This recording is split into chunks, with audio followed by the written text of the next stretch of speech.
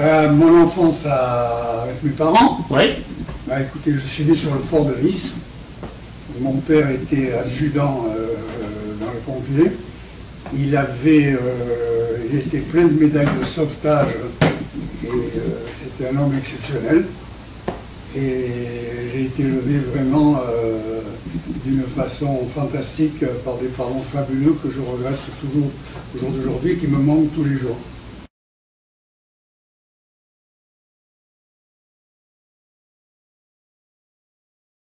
Je suis venu dans la cascade par hasard.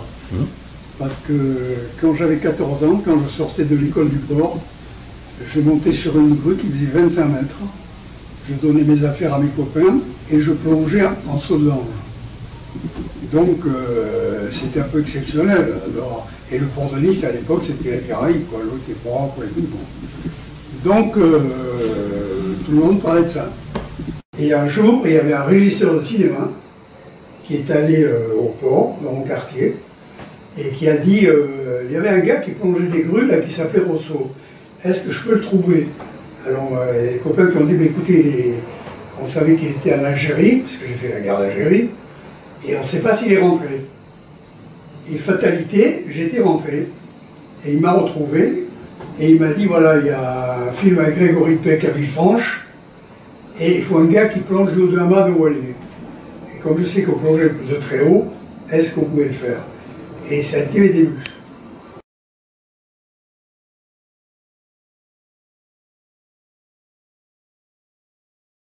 Le, vraiment premier, ça a été qui m'a lancé, ça a été Vivre pour vivre, de Claude Lelouch, où j'ai fait Les mercenaires au Congo et la guerre au Vietnam. Et tout le monde avait cru que c'était des documents authentiques. Donc ça, ça m'a fait beaucoup de publicité. Et Claude m'a mis après Montant et Gérardo au générique au début. Tellement il a été content de mon travail. Donc a été vraiment mon début, parce que j'avais monté une équipe de 15 bonhommes. Voilà. Je faisais des combats de gladiateurs, où il y a maintenant Cap 3000, c'était le village Astérix. Et tous les soirs, on faisait des combats avec les glaives, les boucliers, les tridents, et des trucs comme ça. Tous les soirs, tous les soirs, tous les soirs. Voilà. Et j'ai monté mon équipe là, et après, elle m'a- euh, je l'ai amené un peu partout, en Allemagne, en Autriche, euh, euh, tous les pays que j'ai fait, Munich, euh, partout. Partout où je suis allé avec. Et j'ai tourné un peu partout. Après, j'ai été vachement connu, et j'ai fait un, accident au Nürburgring, avec une euh, GT40 Ford, qui était mal préparée. Au lieu de- d'emboîter les, trucs de sécurité, les arceaux, au lieu de les emboîter, ils avaient soudé. Chose qu'il ne faut jamais faire. Donc j'ai plongé avec la voiture, les, donc les arceaux sont pétés, ont transpercé mon siège entre les côtes, donc j'aurais pu être crucifié. Ma tête est passée à travers le toit. En fait, c'était un miracle. C'était bon pour le film, hein, parce que le mec se tuait.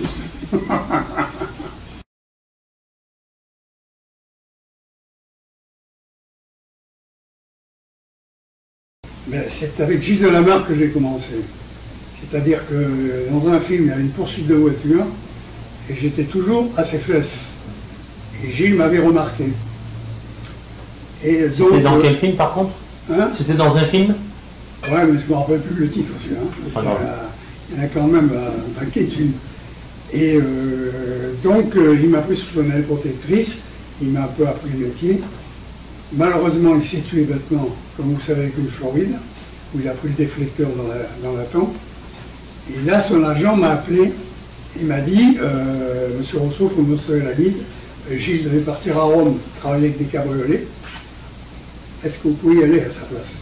Donc je suis allé à Rome, chez Chita, et j'ai tourné avec des cabriolets, où je faisais des tonneaux en cabriolet. C'est-à-dire que je mettais une barre juste derrière la toile, et je faisais des tonneaux avec des cabriolets euh, Alfa Romeo. Et là, euh, tous les cascadeurs italiens qui faisaient des westerns sont venus me voir en disant nous on fait des westerns, on fait du cheval, vous ne pouvez pas rester à Rome, nous apprendre la moto, la voiture, etc. etc. Et moi, à l'époque ici, j'étais number one. Donc j'ai réfléchi, donc je ne suis pas resté. J'avais ma famille ici et tout. Mais euh, j'aurais pu faire carrière à, à Rome. hein.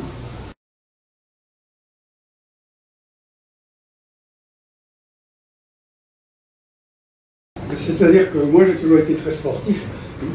Donc, euh, pour moi, ça a été un peu une facilité de, faire de la cascade sur mon côté sportif.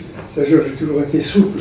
Euh, J'étais un des rares qui se prenait une voiture de face, où je passais par-dessus le capot, par-dessus le toit. Je me posais une voiture à 50-60 km/h et je tombais sur la cadane. sans casque, sans rien, puisque c'était filmé.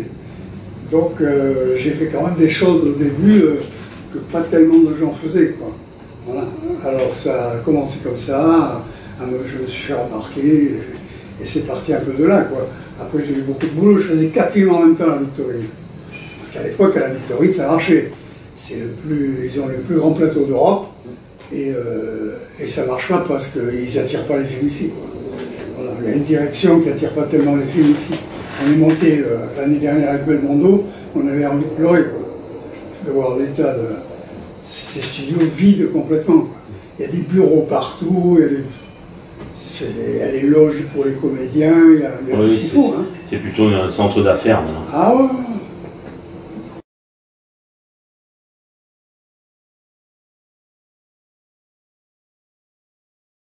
Moi, je m'entendais super avec euh, Lautner. Bien sûr, Georges Lautner prenait toujours les mêmes techniciens, acteurs, cascadeurs. Avec Lautner, je me suis bien entendu avec le louche. Il n'y a pas eu de, soucis. Et euh, j'ai fait des films à l'époque avec un metteur en scène dont on ne parle plus. Oui. C'est Sergio Gobi. J'ai fait Le Temps des loups avec, euh, avec Charles Aznavour, avec Robert Hossein, des trucs comme ça. Hein à l'époque. Et euh, donc j'ai tourné avec des réalisateurs qui étaient quand même très compétents. Et qui me disaient, moi je recevais un scénario, il avait marqué poursuite de voiture, bagarre et tout, et moi j'écrivais tout le reste. Et oui, j'ai marqué euh, une voiture, cascade de voiture, bagarre, machin, et moi, de mon côté, j'écrivais tout. Et je réglais après avec mes cascadeurs.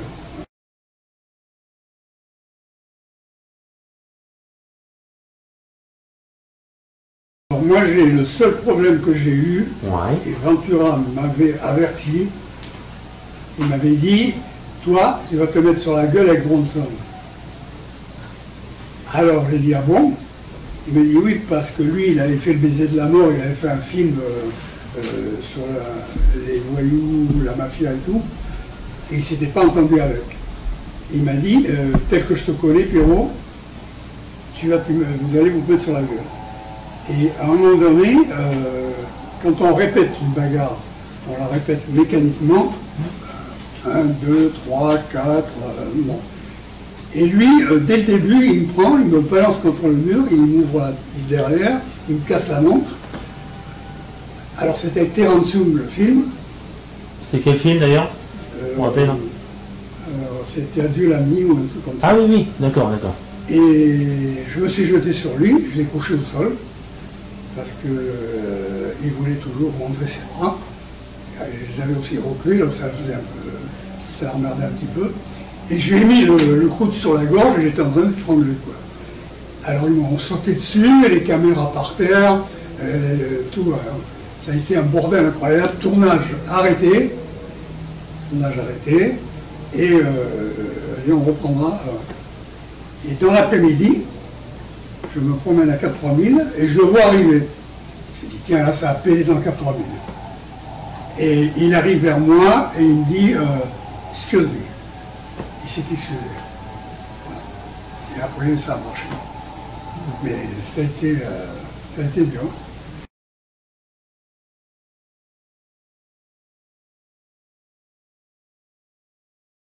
Quand il a fait Une une fois dans l'Ouest. Par exemple, hein il ne parle pas beaucoup. Hum. Il n'a même pas parlé Henri Fonda.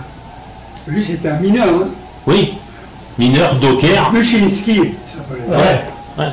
Alors, alors euh, mais euh, il a pris la grosse tête tout, de suite. Hein. Ah. Il n'a pas parlé à Fonda, hein, qui était une fois dans le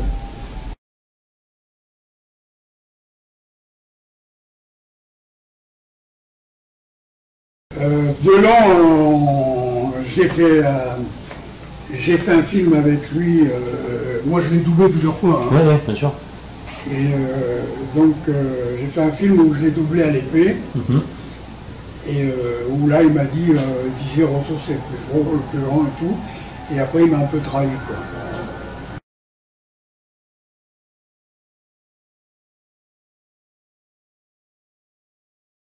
Ventura, Une aventure. Belmondo, Jean-Paul. Le Kjurgens, Ah, bien. hein, où j'ai tourné en Autriche avec lui. Euh, mais enfin, les, les- les deux, les deux c'est Lino et Jean-Paul. hein. D'accord. Voilà. C'est-à-dire que Jean-Paul n'a jamais été doublé. Ouais.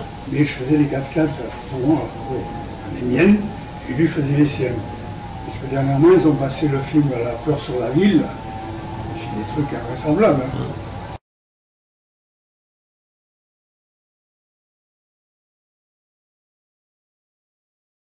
Fait l'emmerdeur, moi. Euh, où j'étais, donc, je doublais Jacques Brel quand il glisse du toit et que Lino le rattrape avec la chasse des toilettes. Bon. Donc, euh, j'ai fait ce truc. Et la, la première fois, il y avait du vent. Et je balançais sur le toit à, à 30 mètres de haut. quoi. Et Ventura, qui n'aimait pas, quand il y avait des cascades, il partait. Il s'est mis devant la caméra de Molinaro. Il a dit Oh, on fait du cinéma, on, retournera quand il n'y aura plus de vent. Il a dit, et toi, là-haut, si tu continues, je monte, je te pète la gueule. Ouais, parce que ce morceau-là, par exemple, c'était pas en studio. C'était vraiment. Ouais, ouais. D'accord. C'est vraiment sous les toits.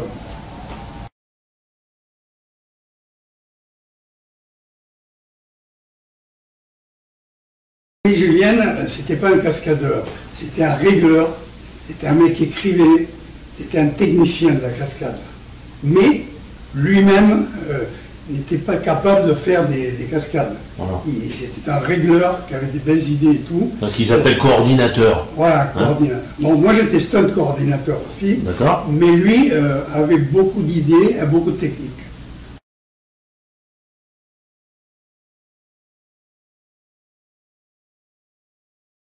Ils m'ont un peu tous célébré, mais euh, le plus, euh, c'est que j'en ai cinq qui sont qui n'ont jamais été battus. Mhm. Et surtout celui que j'ai fait pour mon ami le prince Albert à Monaco, où j'ai fait un saut d'hélicoptère de 850 mètres avec une remontée de 600 mètres. Et mon cardiologue m'avait dit, je te touche la main, t'es mort. Parce qu'à la remontée, rupture d'anévrisme, décrochage de la pompe cardiaque. Alors euh, j'ai dit, bon, ben, alors, écoute, on verra. Et après le saut, je suis allé le voir, il m'a dit, euh, t'es un martien.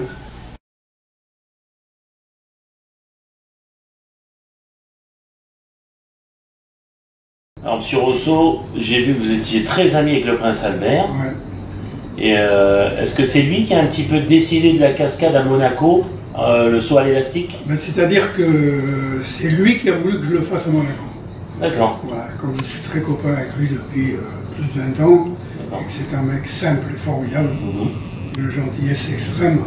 Euh, dernièrement, il était en voiture avec les gardes du corps, il est sorti de la voiture pour venir m'embrasser. euh, bon, c'est un mec super. Vraiment, vraiment super. C'est un bon, il fait bien son métier de prince, mais malheureusement, à une époque, on se voyait tout le temps, toutes les semaines, on bouffait ensemble, et je lui ai dit, le jour où tu n'auras plus ton papa, euh, tu n'auras plus le temps. Parce qu'il sillonne le monde. Il sillonne le monde. Il est rarement à Monaco, hein. Franchement. hein. Bon là, euh, Charlène, c'est une fille fantastique, gentille et tout, jolie, gentille et tout. Mais il, il est tout le temps en train de bouffer. Il est toujours en protocole. Il est invité à Ouais, droite, à gauche, le matin, le soir. Mais le, le trapèze hélicoptère, c'était un truc que euh, j'ai fait Jean les Calvi aller-retour. Donc euh, euh, j'ai eu un problème de cervical, bien sûr, 3 heures, 3 heures et demie, aller-retour. Euh, j'étais un peu fatigué. Alors je me suspendais par les jambes, je me relevais, je m'asseyais. Mais euh, la, la vitesse, à un moment donné, je me suis retourné, parce que j'en prenais plein la gueule, et j'ai eu les cervicales qui ont été un peu déplacées. voilà. Mais euh, celui-là n'a jamais été battu non plus. hein. C'est quand même très long et j'étais sponsorisé, sponsorisé par le groupe Partouche.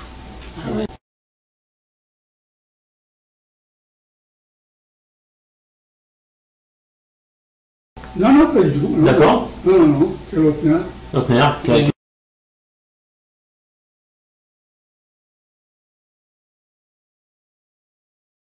Bah, c'était Jean-Paul. hein. C'était Jean-Paul Belmondo. Oui. Et euh, donc vous, m'avez dit tout à l'heure que, expliquez-nous la cascade de- dans, dans Peur sur la ville, par exemple, sur le. Ah, sur le métro. Bah là, Vous êtes présent, vous. hein? Vous êtes présent. Vous êtes là ce jour-là. Non, j'étais pas là, moi. D'accord. Non, non, non. Mais là, il a fait un truc, euh, mais il- il- toujours au dernier moment, il fait des choses euh, qui sont pas prévues, Jean-Paul. D'accord. Dans Le coup du métro, c'est un truc de fou. Mm. Euh, Il faut qu'il se couche pour pas toucher les fils. Quand il glisse du toit, il n'y a rien en dessous. Euh, Il n'y a que les gouttières qu'ils avaient renforcées. Bon, c'est un, un des trucs incroyables. hein. La scène de l'hélicoptère à la fin, quand il va se battre avec euh, l'acteur italien, là, Ouais. c'est pareil, c'est lui qui se balade, qui Ouais. se balance et tout. Ouais, Vous n'avez pas une petite anecdote sur Jean-Paul euh, avec vous, sur un tournage, Euh, qui vous a marqué anecdotes avec Jean-Paul, j'en ai, euh, Plein, bien sûr. j'en ai surtout en dehors des tournages. Ah, j'en ai une importante, je vais vous couper. Quand il a l'accident dans Hold Up, ouais, vous êtes là non. D'accord, avec Alexandre Arcadi. D'accord. Ouais. Qu'est-ce, que, qu'est-ce qui a été pour vous mal vu, mal prévu Bah, ça a été, euh, ça a été le, le chauffeur qui a donné un coup de frein brusque et que Jean-Paul a tapé. Voilà. Ouais, dans, Voilà. dans le crâne. hein. Mais, euh, par exemple, avec Jean-Paul, ce qu'on a fait un, matin à 6 heures, on, on euh, au- on est casco, Ouais. euh, au lieu de monter par l'ascenseur, on est monté par la grimpé par la façade. Alors, euh, ça a été un peu. euh, tout le monde regardait, il, il, réceptionniste, il dit Vous allez où là? Il dans ma chambre. Mais par où? Ah, Par la façade. On va pas prendre l'ascenseur. Et on est monté par la façade. On a plongé dans une chambre. Il s'est trompé. Il y a un couple qui s'est réveillé. Il dit Ah, excusez-moi, c'est pas ma chambre. Jean-Paul Belmondo chantait. Et on a changé, on est allé de l'autre côté. Ah oui. Quelque part, quelque part, vous êtes les Yamakasi. Vous savez, ces jeunes qui sautent sur les toits. Ouais, Quelque part, c'est vous qui avez lancé ça. sans Quelque vouloir. part, hein. sans le vouloir, puisque euh, vous avez pris quand même des risques. Euh, justement, je rebondis, l'homme de Rio, vous étiez sur le tournage? Non, Gilles Delamarre. D'accord.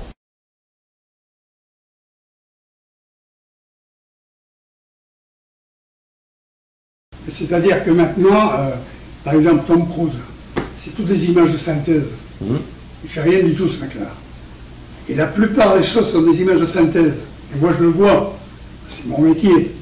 Et donc, la, cascade n'a plus rien à voir avec nous, ce qu'on faisait à l'époque. Nous, on prenait des risques quand même. On prenait des risques calculés, on prenait des risques. Alors maintenant, quand je vois, euh, ils, en ont plein la, bouche de, Tom Cruise, mais c'est quand il est accroché à l'avion et tout, c'est toutes des images de synthèse. Il fait rien du tout, là. Alors, euh, c'est vrai que je suis un peu écœuré quand je vois les films comme ça. Et ça se voit, les images de synthèse. hein.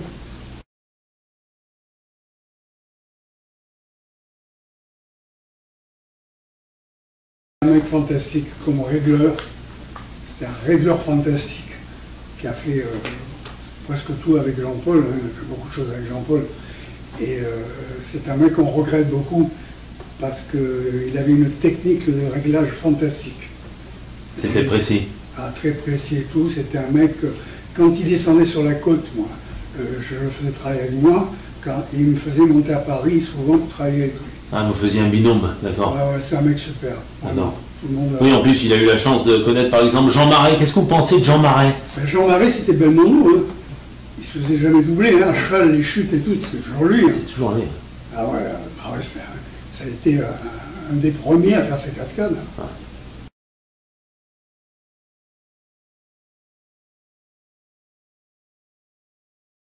Moi, je dis qu'il n'y a plus de films.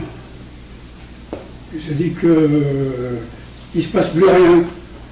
Les, les nouveaux films, maintenant, à part quelques films américains, mais en France, euh, on est à la traîne. On est à la traîne, vraiment.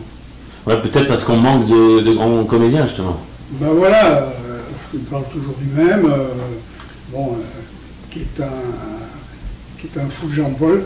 Quand on est avec Jean-Paul, il est euh, donc du jardin. Jean Dujardin, C'est ouais. un mec lui, qui a fait des choses et tout, c'est un bon comédien. Ouais. Mais euh, il n'y a personne, hein, il n'y a plus personne. hein. les mecs comme Ventura, tout ça, tout ça, ça n'existe plus. Ah. les Gabin, Ventura, Belmondo, Delon, c'est fini.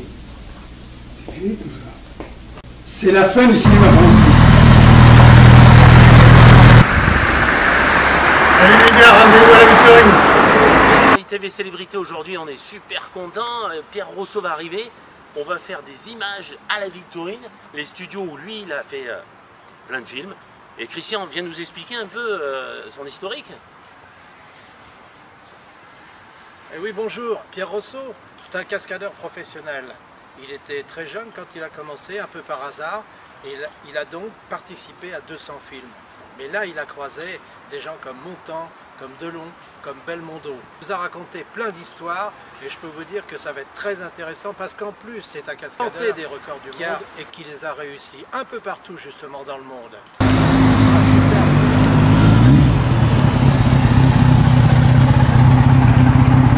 Salut les gars Alors merci pour cette émission parce que j'ai revu euh, toute ma vie de cascadeur. D'ailleurs j'ai la nostalgie, c'est la moment de beaucoup et c'est dommage de voir la Victorine, on ne sait pas.